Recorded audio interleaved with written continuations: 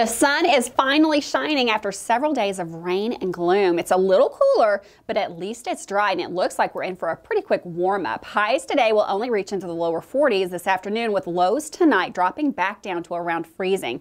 Tomorrow looks like a much nicer day with the sun sticking around and warmer temperatures. Highs for your Valentine's Day will be close to 60 degrees, almost warm enough for a picnic with your sweetheart.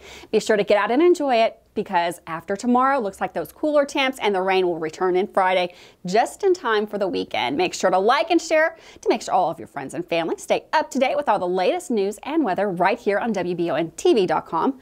I'm Gwendolyn Morton.